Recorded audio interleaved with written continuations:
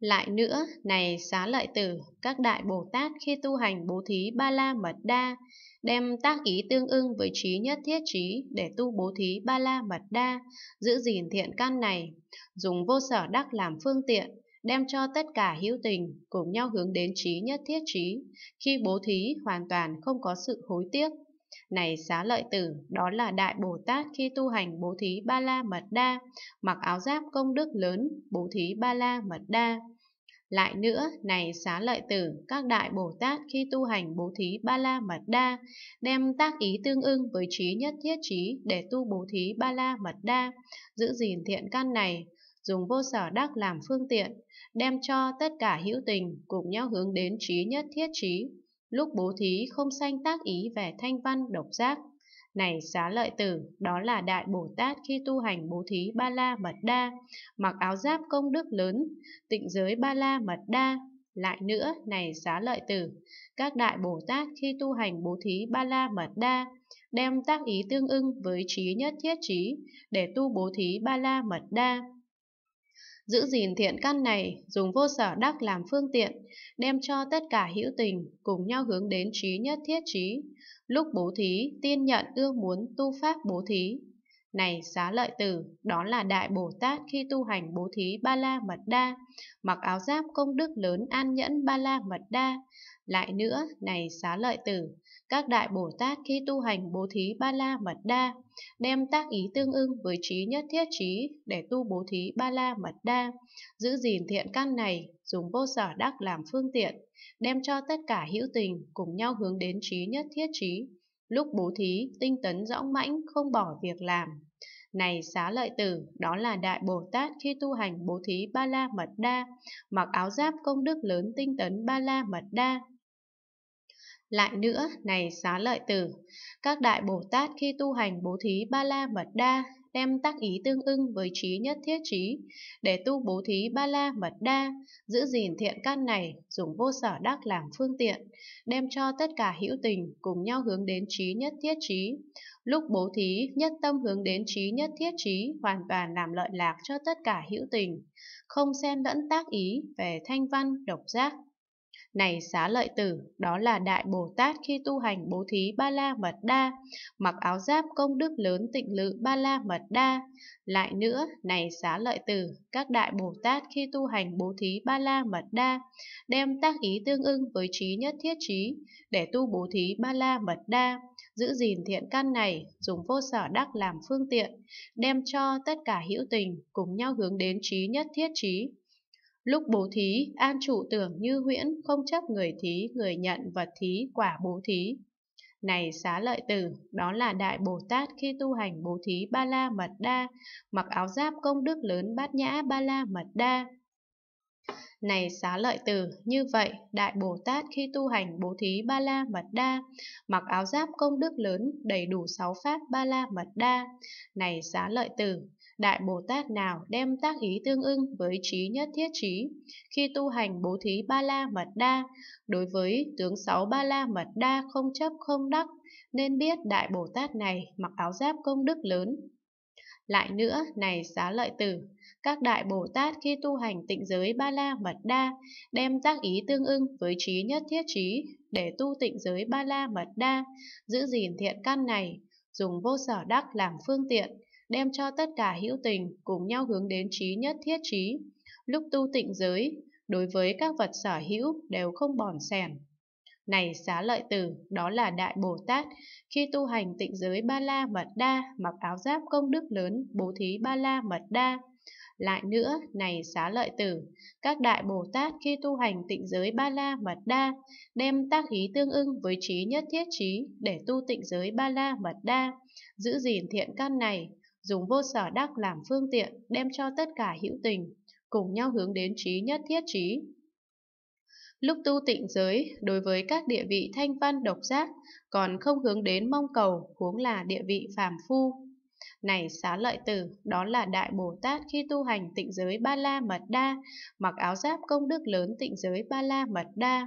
lại nữa, này xá lợi tử, các đại Bồ Tát khi tu hành tịnh giới ba la mật đa, đem tác ý tương ưng với trí nhất thiết trí để tu tịnh giới ba la mật đa, giữ gìn thiện căn này, dùng vô sở đắc làm phương tiện đem cho tất cả hữu tình, cùng nhau hướng đến trí nhất thiết trí. Lúc tu tịnh giới, đối với Pháp tịnh giới tin nhận ưa muốn, này xá lợi tử, đó là Đại Bồ Tát khi tu hành tịnh giới Ba La Mật Đa, mặc áo giáp công đức lớn an nhẫn Ba La Mật Đa. Lại nữa, này xá lợi tử, các đại Bồ Tát khi tu hành tịnh giới Ba La Mật Đa, đem tác ý tương ưng với trí nhất thiết trí để tu tịnh giới Ba La Mật Đa, giữ gìn thiện căn này, dùng vô sở đắc làm phương tiện đem cho tất cả hữu tình, cùng nhau hướng đến trí nhất thiết trí, lúc tu tịnh giới, tinh tấn dõng mãnh, không bỏ việc làm. Này xá lợi tử, đó là Đại Bồ Tát khi tu hành tịnh giới Ba La Mật Đa, mặc áo giáp công đức lớn tinh tấn Ba La Mật Đa. Lại nữa, này xá lợi tử, các Đại Bồ Tát khi tu hành tịnh giới Ba La Mật Đa, đem tác ý tương ưng với trí nhất thiết trí để tu tịnh giới Ba La Mật Đa, giữ gìn thiện căn này, dùng vô sở đắc làm phương tiện, đem cho tất cả hữu tình, cùng nhau hướng đến trí nhất thiết trí. Lúc tu tịnh giới, chỉ lấy đại bi làm đầu, tâm còn không xen lẫn, nghĩ đến nhị thừa huống là hàng phàm phu. Này xá lợi tử, đó là Đại Bồ Tát khi tu hành tịnh giới Ba La Mật Đa, mặc áo giáp công đức lớn tịnh lự Ba La Mật Đa.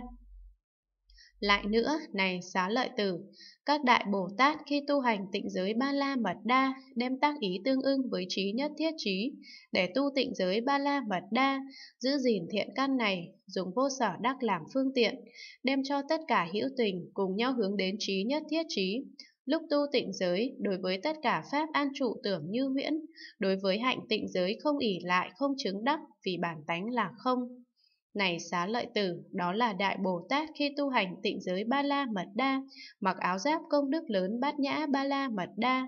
Này xá lợi tử, như vậy Đại Bồ Tát khi tu hành tịnh giới Ba La Mật Đa, mặc áo giáp công đức lớn, đầy đủ sáu pháp Ba La Mật Đa. Này xá lợi tử, Đại Bồ Tát nào đem tác ý tương ưng với trí nhất thiết trí khi tu hành tịnh giới Ba La Mật Đa?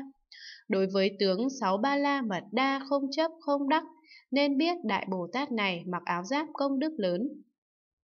Lại nữa, này xá lợi tử, các Đại Bồ Tát khi tu hành an nhẫn ba la mật đa, đem tác ý tương ưng với trí nhất thiết trí, để tu an nhẫn ba la mật đa, giữ gìn thiện căn này, dùng vô sở đắc làm phương tiện, đem cho tất cả hữu tình cùng nhau hướng đến trí nhất thiết trí. Lúc tu an nhẫn, vì để thành tựu an nhẫn nên đối với thân mạng không tham luyến, này xá lợi tử, đó là Đại Bồ Tát khi tu hành an nhẫn ba la mật đa, mặc áo giáp công đức lớn, bố thí ba la mật đa. Lại nữa, này xá lợi tử, các Đại Bồ Tát khi tu hành an nhẫn ba la mật đa, đem tác ý tương ưng với trí nhất thiết trí để tu an nhẫn ba la mật đa, giữ gìn thiện căn này, dùng vô sở đắc làm phương tiện đem cho tất cả hữu tình, cùng nhau hướng đến trí nhất thiết trí, lúc tu an nhẫn không xen lẫn tác ý hạ liệt, thanh văn, độc giác, vân vân. Này xá lợi tử, đó là Đại Bồ Tát, khi tu hành an nhẫn ba la mật đa, mặc áo giáp công đức lớn tịnh giới ba la mật đa. Lại nữa, này xá lợi tử, các Đại Bồ Tát khi tu hành an nhẫn ba la mật đa, đem tác ý tương ưng với trí nhất thiết trí để tu an nhẫn ba la mật đa, giữ gìn thiện căn này, dùng vô sở đắc làm phương tiện đem cho tất cả hữu tình, cùng nhau hướng đến trí nhất thiết trí, lúc tu an nhẫn, đối với Pháp an nhẫn tin nhận ưa muốn. Này xá lợi tử, đó là Đại Bồ Tát, khi tu hành an nhẫn ba la mật đa, mặc áo giáp công đức lớn an nhẫn ba la mật đa. Lại nữa, này xá lợi tử, các Đại Bồ Tát khi tu hành an nhẫn ba la mật đa, đem tác ý tương ưng với trí nhất thiết trí để tu an nhẫn ba la mật đa, giữ gìn thiện căn này, dùng vô sở đắc làm phương tiện, đem cho tất cả hữu tình, cùng nhau hướng đến trí nhất thiết trí, lúc tu an nhẫn, tinh tấn dõng mãnh, không bỏ việc làm. Này xá lợi tử, đó là Đại Bồ Tát khi tu hành an nhẫn ba la mật đa, mặc áo giáp công đức lớn tinh tấn ba la mật đa. Lại nữa, này xá lợi tử, các Đại Bồ Tát khi tu hành an nhẫn ba la mật đa, đem tác ý tương ưng với trí nhất thiết trí để tu an nhẫn ba la mật đa, giữ gìn thiện căn này, dùng vô sở đắc làm phương tiện đem cho tất cả hữu tình cùng nhau hướng đến trí nhất thiết trí. Lúc tu an nhẫn, nhiếp tâm vào một cảnh, tuy gặp các khổ nhưng tâm không tán loạn. Này xá lợi tử, đó là Đại Bồ Tát khi tu hành an nhẫn ba la mật đa, mặc áo giáp công đức lớn tịnh lự ba la mật đa. Lại nữa, này xá lợi tử, các Đại Bồ Tát, khi tu hành an nhẫn ba la mật đa, đem tác ý tương ưng với trí nhất thiết trí, để tu an nhẫn ba la mật đa, giữ gìn thiện căn này, dùng vô sở đắc làm phương tiện, đem cho tất cả hữu tình, cùng nhau hướng đến trí nhất thiết trí, Lúc tu an nhẫn, an trụ tưởng như huyễn, tu tập Phật Pháp, giáo hóa hữu tình, quán các Pháp không, không chấp oán hại.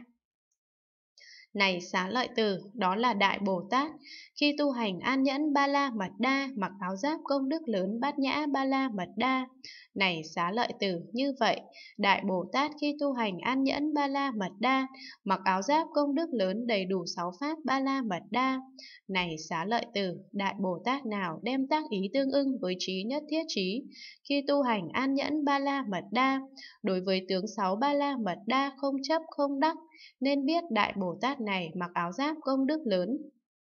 Lại nữa, này xá lợi tử, các đại Bồ Tát khi tu hành tinh tấn ba la mật đa, đem tác ý tương ưng với trí nhất thiết trí để tu tinh tấn ba la mật đa, giữ gìn thiện căn này, dùng vô sở đắc làm phương tiện, đem cho tất cả hữu tình, cùng nhau hướng đến trí nhất thiết trí, lúc tu tinh tấn hay siêng năng tu học hạnh bố thí khó làm.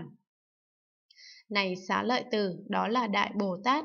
khi tu hành tinh tấn ba la mật đa, mặc áo giáp công đức lớn bố thí ba la mật đa. Lại nữa, này xá lợi tử, các đại Bồ Tát, khi tu hành tinh tấn ba la mật đa, đem tác ý tương ưng với trí nhất thiết trí, để tu tinh tấn ba la mật đa, giữ gìn thiện căn này, dùng vô sở đắc làm phương tiện, đem cho tất cả hữu tình, cùng nhau hướng đến trí nhất thiết trí. Lúc tu tinh tấn, siêng năng giữ gìn tịnh giới, hoàn toàn không hủy phạm. Này xá lợi tử, đó là Đại Bồ Tát khi tu hành tinh tấn ba la mật đa, mặc áo giáp công đức lớn tịnh giới ba la mật đa.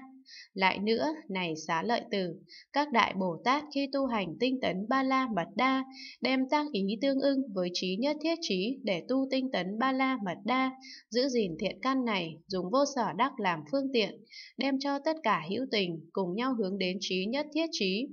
Lúc tu tinh tấn hay siêng năng tu học hạnh nhẫn nhục khó làm. Này xá lợi tử, đó là Đại Bồ Tát, khi tu hành tinh tấn ba la mật đa, mặc áo giáp công đức lớn an nhẫn ba la mật đa. Lại nữa, này xá lợi tử, các đại Bồ Tát khi tu hành tinh tấn ba la mật đa, đem tác ý tương ưng với trí nhất thiết trí để tu tinh tấn ba la mật đa, giữ gìn thiện căn này, dùng vô sở đắc làm phương tiện, đem cho tất cả hữu tình, cùng nhau hướng đến trí nhất thiết trí. Lúc tu tinh tấn hay siêng năng tu học khổ hạnh có lợi ích. Này xá lợi tử, đó là Đại Bồ Tát khi tu hành tinh tấn ba la mật đa, mặc áo giáp công đức lớn tinh tấn ba la mật đa, lại nữa, này xá lợi tử, các đại Bồ Tát khi tu hành tinh tấn ba la mật đa, đem tác ý tương ưng với trí nhất thiết trí để tu tinh tấn ba la mật đa, giữ gìn thiện căn này, dùng vô sở đắc làm phương tiện, đem cho tất cả hữu tình, cùng nhau hướng đến trí nhất thiết trí, lúc tu tinh tấn hay siêng năng tu học, tịnh lự đẳng trí,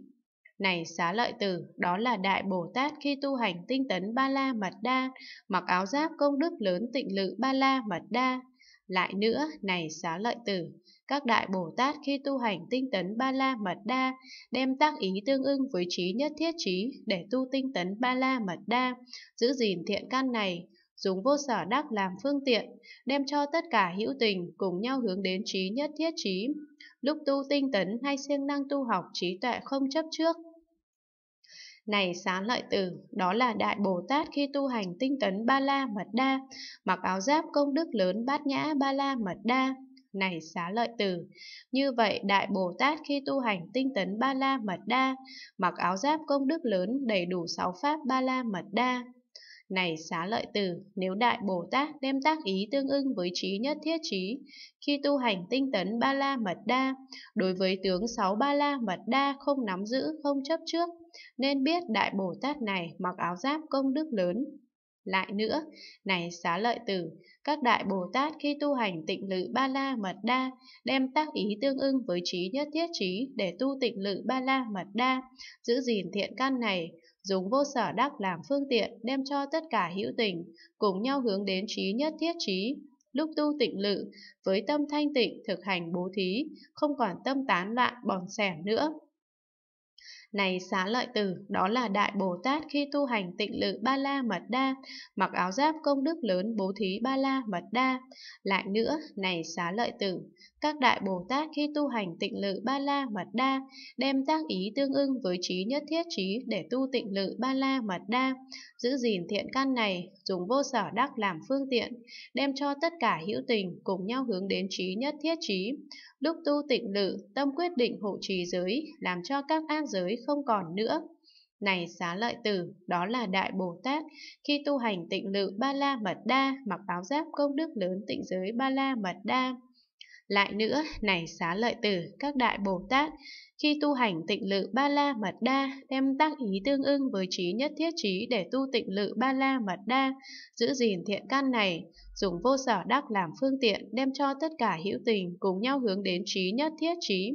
Lúc tu tịnh lự, an trụ, định từ bi, mà tu an nhẫn, không làm não hại hữu tình. Này xá lợi tử, đó là Đại Bồ Tát, khi tu hành tịnh lự ba la mật đa, mặc áo giáp công đức lớn an nhẫn ba la mật đa.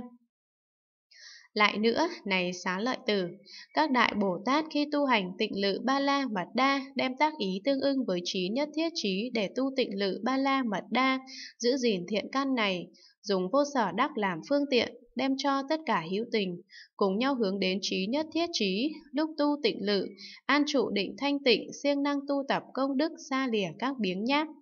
này xá lợi tử, đó là Đại Bồ Tát khi tu hành tịnh lự Ba La Mật Đa, mặc áo giáp công đức lớn tinh tấn Ba La Mật Đa. Lại nữa, này xá lợi tử, các Đại Bồ Tát khi tu hành tịnh lự Ba La Mật Đa, đem tác ý tương ưng với trí nhất thiết trí, để tu tịnh lự ba la mật đa, giữ gìn thiện căn này, dùng vô sở đắc làm phương tiện, đem cho tất cả hữu tình cùng nhau hướng đến trí nhất thiết trí. Lúc tu tịnh lự, nương vào các tịnh lự, hướng đến định thù thắng xa lìa tâm nhiễu loạn. Này xá lợi tử, đó là Đại Bồ Tát khi tu hành tịnh lự ba la mật đa, mặc áo giáp công đức lớn tịnh lự ba la mật đa. Lại nữa, này xá lợi tử, các đại Bồ Tát, khi tu hành tịnh lự ba la mật đa, đem tác ý tương ưng với trí nhất thiết trí, để tu tịnh lự ba la mật đa, giữ gìn thiện căn này, dùng vô sở đắc làm phương tiện, đem cho tất cả hữu tình, cùng nhau hướng đến trí nhất thiết trí, lúc tu tịnh lự, nương vào các tịnh lự, hướng đến tuệ thủ thắng, xa lìa tâm ác tuệ.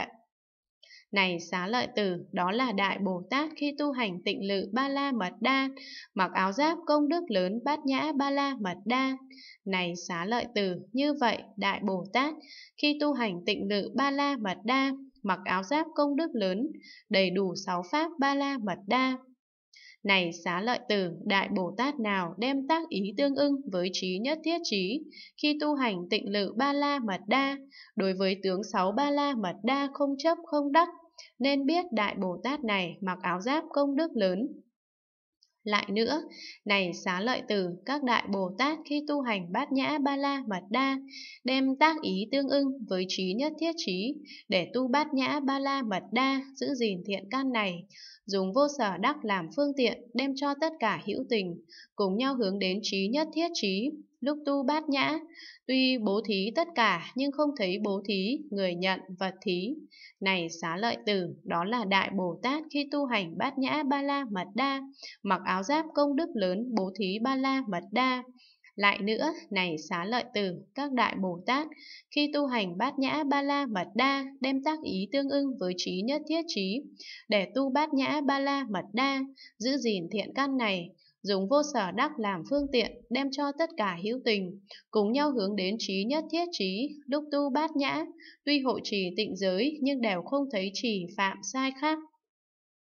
Này xá lợi tử, đó là Đại Bồ Tát khi tu hành bát nhã ba la mật đa, mặc áo giáp công đức lớn tịnh giới ba la mật đa, lại nữa, này xá lợi tử, các đại Bồ Tát khi tu hành bát nhã ba la mật đa, đem tác ý tương ưng với trí nhất thiết trí để tu bát nhã ba la mật đa, giữ gìn thiện căn này, dùng vô sở đắc làm phương tiện, đem cho tất cả hữu tình, cùng nhau hướng đến trí nhất thiết trí.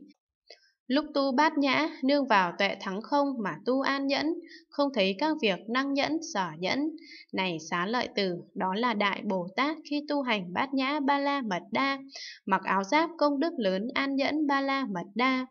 Lại nữa, này xá lợi tử, các đại Bồ Tát khi tu hành bát nhã ba la mật đa, đem tác ý tương ưng với trí nhất thiết trí để tu bát nhã ba la mật đa, giữ gìn thiện căn này, dùng vô sở đắc làm phương tiện, đem cho tất cả hữu tình cùng nhau hướng đến trí nhất thiết trí. Lúc tu bát nhã, tuy quán các pháp rốt giáo đều không, nhưng vì đại bi nên siêng năng tu thiện pháp. Này xá lợi tử, đó là Đại Bồ Tát, khi tu hành bát nhã ba la mật đa, mặc áo giáp công đức lớn tinh tấn ba la mật đa. Lại nữa, này xá lợi tử, các Đại Bồ Tát khi tu hành bát nhã ba la mật đa, đem tác ý tương ưng với trí nhất thiết trí, để tu bát nhã ba la mật đa, giữ gìn thiện căn này, dùng vô sở đắc làm phương tiện đem cho tất cả hữu tình, cùng nhau hướng đến trí nhất thiết trí. Lúc tu bát nhã, tuy tu định thù thắng, nhưng quán cảnh định rốt giáo đều không. Này xá lợi tử, đó là Đại Bồ Tát khi tu hành bát nhã ba la mật đa, mặc áo giáp công đức lớn tịnh lự ba la mật đa. Lại nữa, này xá lợi tử, các đại Bồ Tát khi tu hành bát nhã ba la mật đa, đem tác ý tương ưng với trí nhất thiết trí để tu bát nhã ba la mật đa, giữ gìn thiện căn này, dùng vô sở đắc làm phương tiện, đem cho tất cả hữu tình, cùng nhau hướng đến trí nhất thiết trí, lúc tu bát nhã, quán tất cả pháp, tất cả hữu tình, và tất cả hành đều như huyễn, mà tu các tuệ không chấp trước, này xá lợi tử, đó là Đại Bồ Tát khi tu hành bát nhã ba la mật đa, mặc áo giáp công đức lớn bát nhã ba la mật đa. Này xá lợi tử, như vậy Đại Bồ Tát khi tu hành bát nhã ba la mật đa, mặc áo giáp công đức lớn đầy đủ sáu pháp ba la mật đa. Này xá lợi tử, Đại Bồ Tát nào đem tác ý tương ưng với trí nhất thiết trí khi tu hành bát nhã ba la mật đa. Đối với tướng sáu ba la mật đa không chấp không đắc, nên biết Đại Bồ Tát này mặc áo giáp công đức lớn. Này xá lợi từ như vậy, gọi là các Đại Bồ Tát làm lợi lạc cho khắp tất cả hữu tình, mặc áo giáp công đức lớn. Này xá lợi tử, các đại Bồ Tát an trụ mỗi một ba la mật đa, đều tu sáu pháp ba la mật đa làm cho được viên mãn, vì vậy gọi là mặc áo giáp công đức lớn. Lại nữa, này xá lợi tử, các đại Bồ Tát tuy đắc tịnh lự vô lượng vô sắc, nhưng không đắm vị, cũng không theo thế lực đó mà thọ sanh, cũng không bị thế lực đó dẫn dắt, này xá lợi tử, đó là Đại Bồ Tát khi tu hành tịnh lự ba la mật đa, mặc áo giáp công đức lớn phương tiện thiện xảo bát nhã ba la mật đa. Lại nữa, này xá lợi tử, các đại Bồ Tát, tuy đắc tịnh lự vô lượng vô sắc, an trụ viễn ly, kiến, tịch tịnh kiến, không vô tướng vô nguyện kiến, nhưng không chứng thật tế, không vào địa vị thanh văn và độc giác, vượt lên trên tất cả thanh văn độc giác, này xá lợi tử, đó là Đại Bồ Tát khi tu hành tịnh lự ba la mật đa, mặc được áo giáp công đức lớn phương tiện thiện xảo bát nhã ba la mật đa. Này xá lợi tử, do các Bồ Tát làm lợi lạc cho khắp tất cả hữu tình, mặc áo giáp công đức lớn như vậy, nên còn gọi là Ma Ha Tát này xá lợi tử. Như vậy, vì làm lợi lạc cho khắp hữu tình mặc áo giáp công đức lớn, nên Đại Bồ Tát ở trong đại chúng, được tất cả như lai ứng tránh đẳng giác trong hàng hà sa số thế giới chư Phật khắp mười phương hoan hỷ khen ngợi như vậy. Trong thế giới ấy, phương ấy, có Đại Bồ Tát ấy, mặc áo giáp công đức lớn, làm lợi lạc cho khắp tất cả hữu tình, làm nghiêm tịnh cõi Phật, giáo hóa hữu tình, an trụ thần thông, làm những việc nên làm. Tiếng khen như vậy dần dần vang khắp mười phương trời người vân vân, nghe đều rất vui mừng, nói. Đại Bồ Tát này không bao lâu sẽ chứng quả vô thượng chánh đẳng chánh giác, đã mong cầu làm cho các hữu tình đều được lợi lạc. Bấy giờ xá lợi tử hỏi mãn từ từ. Thế nào là Đại Bồ Tát làm lợi lạc cho khắp các hữu tình nên phát tâm hướng đến Đại Thừa? Mãn từ từ đáp, này xá lợi tử, các đại Bồ Tát làm lợi lạc cho khắp tất cả hữu tình, mặc áo giáp công đức lớn sáu ba la mật đa rồi, lại làm lợi lạc cho các hữu tình nên xa lìa pháp dục ác bất thiện, có tầm có tứ, ly sanh hỷ lạc, nhập và an trụ hoàn toàn vào sơ thiền, nói rộng cho đến đoạn trừ lạc, đoạn trừ khổ, không có vui buồn, hết không khổ không lạc, xả niệm thanh tịnh, nhập và an trụ hoàn toàn vào tịnh lự thứ tư lại nương vào tịnh lự sanh tâm câu hữu với từ. Hành tướng rộng lớn, vô lượng, không hai, không oán, không hại, không hận, không não. Khéo tu thắng giải, biến khắp chúng khắp mười phương tận cùng pháp giới hư không an trụ đầy đủ từ tâm thắng giải sanh tâm câu hữu với bi hỷ xả hành tướng thắng giải cũng như vậy nương vào việc làm này lại phát sanh tất cả tưởng về sắc diệt tưởng hữu đối với không tư duy các loại tưởng, nhập và an trụ hoàn toàn vào vô biên không, không vô biên xứ. Nói rộng cho đến vượt qua tất cả vô sở hữu xứ, nhập và an trụ hoàn toàn vào phi tưởng, phi phi tưởng xứ. Này xá lợi tử, Đại Bồ Tát ấy đem tịnh lự vô lượng vô sắc này, dùng vô sở đắc làm phương tiện đem cho tất cả hữu tình, cùng nhau hướng đến trí nhất thiết trí, này xá lợi tử, đó là Đại Bồ Tát làm lợi lạc cho khắp các hữu tình nên phát tâm hướng đến Đại Thừa. Lại nữa, này xá lợi tử, các Đại Bồ Tát làm lợi lạc cho khắp các hữu tình. Tự mình trước đã an trụ tịnh lự vô lượng vô sắc như vậy. Đối với tướng trạng nhập trụ xuất, các hành phân biệt khéo hiểu biết rõ, được tự tại rồi lại nghĩ, Nay tôi sẽ đem tác ý tương ưng với trí nhất thiết trí, lấy đại bi làm đầu, để đoạn trừ các phiền não cho tất cả hữu tình, thuyết các tịnh lự vô lượng vô sắc phân biệt chỉ bày, làm cho khéo hiểu rõ các định, xa lìa tội lỗi của vị ái và nhập trụ xuất tướng trạng các hành. Này xá lợi tử, đó là Đại Bồ Tát nương vào tịnh lự Ba La Mật Đa, tu hành bố thí Ba La Mật Đa làm lợi lạc cho khắp các hữu tình, nên phát tâm hướng đến Đại Thừa. Đại Bồ Tát đem tác ý tương ưng với trí nhất thiết trí, lấy Đại Bi làm đầu. Khi nói các tịnh lự vô lượng vô sắc không bị xen lẫn tâm thanh văn độc giác, này xá lợi tử, đó là Đại Bồ Tát nương vào tịnh lự Ba La Mật Đa, tu hành tịnh giới Ba La Mật Đa, làm lợi lạc cho khắp hữu tình, nên phát tâm hướng đến Đại Thừa. Đại Bồ Tát đem tác ý tương ưng với trí nhất thiết trí, khi lấy đại bi làm đầu, nói các tịnh lự vô lượng vô sắc, đối với Pháp như vậy, tin nhận ưa muốn. Này xá lợi tử, đó là Đại Bồ Tát, nương vào tịnh lự ba la mật đa, tu hành an nhẫn ba la mật đa, làm lợi lạc cho khắp các hữu tình, nên phát tâm hướng đến Đại Thừa. Đại Bồ Tát nào đem tác ý tương ưng với trí nhất thiết trí, khi lấy đại bi làm đầu tu các tịnh lự, vô lượng vô sắc, đem thiện căn của mình cho các hữu tình hồi hướng quả, vô thượng tránh đẳng tránh giác, đã mong cầu, đối với các thiện căn siêng năng tu tập không dừng nghỉ. Này xá lợi tử, đó là Đại Bồ Tát nương vào tịnh lự Ba La Mật Đa, tu hành tinh tấn Ba La Mật Đa, làm lợi lạc cho khắp hữu tình nên phát tâm hướng đến Đại Thừa. Nếu Đại Bồ Tát nào đem tác ý tương ưng với trí nhất thiết trí lấy Đại Bi làm đầu, nương vào các tịnh lự vô lượng vô sắc hướng đến các định thủ thắng, đẳng trí, đẳng trì, giải thoát, thắng xứ, biến xứ. Đối với việc nhập trụ xuất đều được tự tại, không rơi vào các địa vị thanh văn độc giác, này xá lợi tử, đó là Đại Bồ Tát nương vào tịnh lự Ba La Mật Đa, tu hành tịnh lự Ba La Mật Đa làm lợi lạc cho khắp các hữu tình, nên phát tâm hướng đến Đại Thừa. Đại Bồ Tát nào đem tác ý tương ưng với trí nhất thiết trí khi lấy Đại Bi làm đầu, tu các tịnh lự vô lượng vô sắc, đối với các tịnh lự vô lượng vô sắc và chi tịnh lự, đem hành tướng vô thường, khổ, vô ngã và hành tướng không, vô tướng, vô nguyện như thật quán sát, không xả bỏ đại bi, không rơi vào địa vị thanh văn và độc giác. Này xá lợi tử, đó là Đại Bồ Tát nương vào tịnh lự Ba La Mật Đa, tu hành bát nhã Ba La Mật Đa, làm lợi lạc cho khắp các hữu tình, nên phát tâm hướng đến Đại Thừa. Lại nữa, này xá lợi tử, Đại Bồ Tát đem tác ý tương ưng với trí nhất thiết trí, lấy Đại Bi làm đầu. Khi tu định từ, nghĩ như vậy, tôi sẽ giúp đỡ cho tất cả hữu tình, làm cho đều được an lạc, khi tu định bi nghĩ như vậy, tôi sẽ cứu giúp tất cả hữu tình, làm cho họ xa lìa khổ. Lúc tu định hỷ nghĩ như vậy, tôi sẽ khuyến khích tất cả hữu tình, làm cho họ đều được giải thoát. Lúc tu định xả nghĩ như vậy, tôi sẽ làm lợi ích cho tất cả hữu tình, một cách bình đẳng làm cho họ đều dứt hết các lậu. Này xá lợi tử, đó là Đại Bồ Tát nương vào vô lượng,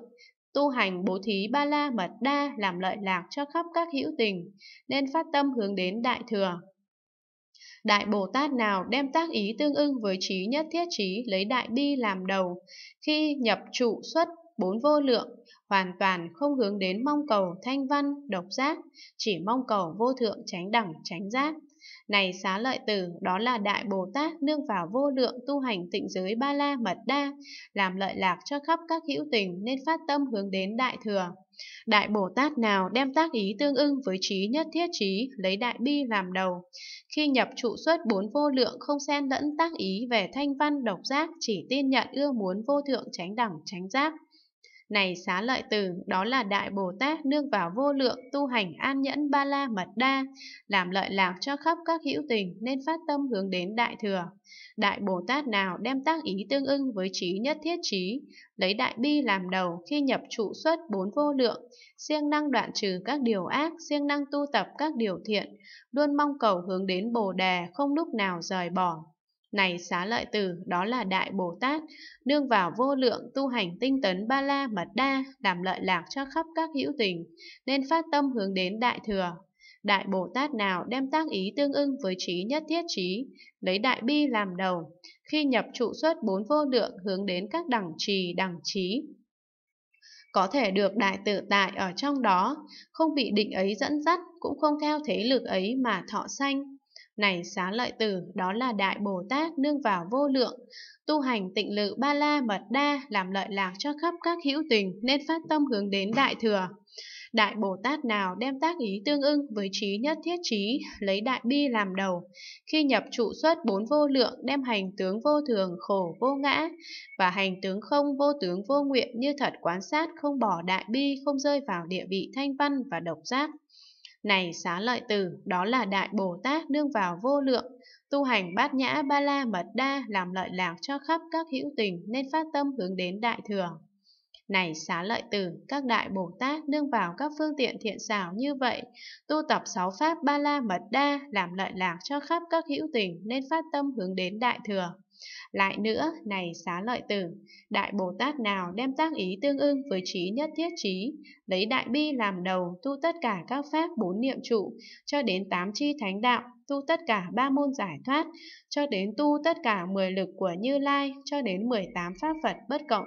dùng vô sở đắc làm phương tiện đem cho tất cả hữu tình, cùng nhau hướng đến trí nhất thiết trí. Này xá lợi tử, đó là Đại Bồ Tát, làm lợi lạc cho khắp các hữu tình, nên phát tâm hướng đến Đại Thừa. Lại nữa, này xá lợi tử, Đại Bồ Tát nào đem tác ý tương ưng với trí nhất thiết trí, lấy đại bi làm đầu, đem vô sở đắc làm phương tiện, phát sanh trí pháp không nội, cho đến pháp không vô tánh tự tánh, đem vô sở đắc làm phương tiện cho tất cả hữu tình, cùng nhau hướng đến trí nhất thiết trí. Này xá lợi tử, đó là Đại Bồ Tát, làm lợi lạc cho khắp các hữu tình, nên phát tâm hướng đến Đại Thừa. Đại Bồ Tát nào đem tác ý tương ưng với trí nhất thiết trí, lấy đại bi làm đầu, vô sở đắc làm phương tiện, đối với tất cả pháp phát sanh diệu trí chẳng loạn chẳng định, diệu trí chẳng thường chẳng vô thường, diệu trí chẳng vui chẳng khổ, diệu trí chẳng ngã chẳng vô ngã, diệu trí chẳng tịnh chẳng bất tịnh, Diệu trí chẳng không, chẳng bất không, diệu trí chẳng hữu tướng, chẳng vô tướng, diệu trí chẳng hữu nguyện, chẳng vô nguyện, diệu trí chẳng tịch tịnh, chẳng bất tịch tịnh, diệu trí chẳng viễn ly, chẳng bất viễn ly, đem vô sở đắc làm phương tiện cho tất cả hữu tình, cùng nhau hướng đến trí nhất thiết trí. Này xá lợi tử, đó là Đại Bồ Tát làm lợi lạc cho khắp các hữu tình, nên phát tâm hướng đến Đại Thừa. Đại Bồ Tát nào đem tác ý tương ưng với trí nhất thiết trí, lấy Đại Bi làm đầu, vô sở đắc làm trí phương tiện, không hành quá khứ vị lai hiện tại, chẳng phải không biết ba đời pháp trí, không hành dục giới sắc giới vô sắc giới, chẳng phải không biết pháp trí ba cõi, không hành thiện bất thiện vô ký, Chẳng phải không biết pháp trí ba tánh không hành thế gian xuất thế gian, chẳng phải không biết pháp trí thế gian xuất thế gian, không hành hữu vi vô vi, chẳng phải không biết pháp trí hữu vi vô vi, không hành hữu lậu vô lậu, chẳng phải không biết pháp trí hữu lậu vô lậu, đem vô sở đắc làm phương tiện cho tất cả hữu tình, cùng nhau hướng đến trí nhất thiết trí.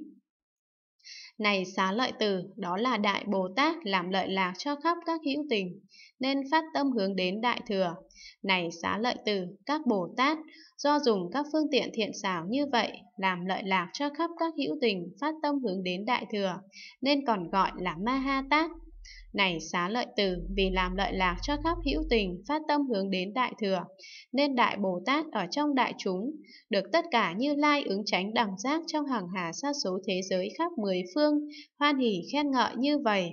Trong thế giới ấy, phương ấy, có Đại Bồ Tát tên ấy, làm lợi lạc cho khắp tất cả hữu tình, phát tâm hướng đến Đại Thừa, làm nghiêm tịnh cõi Phật, giáo hóa hữu tình, du hí thần thông, làm những việc nên làm, tiếng khen như vậy dần dần vang khắp mười phương, người trời vân vân nghe được, đều rất hoan hỉ, nói